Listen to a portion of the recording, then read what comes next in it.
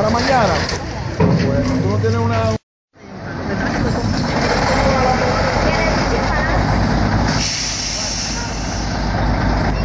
Buenas tardes, ¿su nombre? Esperanza Vidal. Esperanza, ¿qué tiene usted que decir de, esto- de esta obra que está haciendo el, el Bueno, próximo está- alcalde de Villahermosa, Mariano Muy bien, muy bien, porque necesitamos eso aquí en este barrio. ¿Qué tiempo tenía esta comunidad que no era asistida por nadie?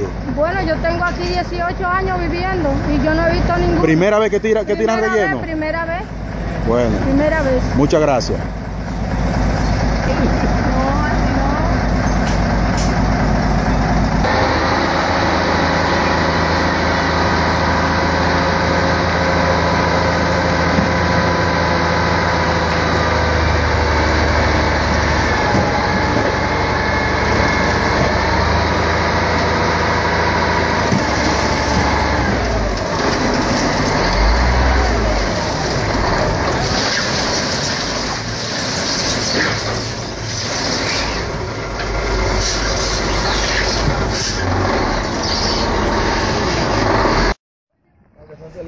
Doña, ¿algo que decir?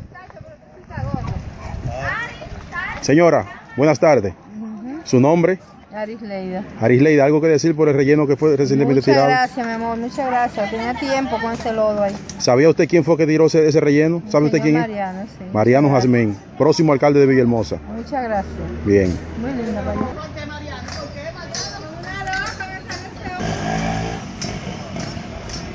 tardes, señora Mercedes. ¿Cómo está usted? Yo estoy bien. Bien, ¿algo que decir por, por el relleno que tiró el, el próximo alcalde de Villahermosa? Bueno, que estoy bien agradecida porque lo que prometió hasta ahora lo ha cumplido. Seguimos que siga cumpliendo todo lo que nos prometa. Hay falta la lámpara.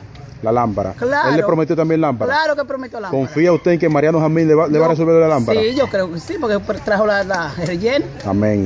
¿Qué, qué tiempo hace que solicitaron ese relleno? No hace, no, no hace ni 15 días. Ni 15 días. Ok, entonces nosotros podemos confiar en Mariano. Bueno, podemos confiar. Bueno, si hace algo por el barrio, ¿sabe qué? Lo tenemos, está, está a favor de, estamos, está a favor de nosotros. Ok. Porque eso es lo que necesitamos, que nos, que no, que nos, resuel- nos resuelvan. En esta gestión del alcalde, del alcalde actual, eh, ¿habían hecho algo por aquí, el ayuntamiento? Pero tú, a la vista está. A la vista está, que no hay nada, mira. Que ya tú sabes. Bien. ¿Su nombre es? Mercedes. Muchas gracias, Mercedes.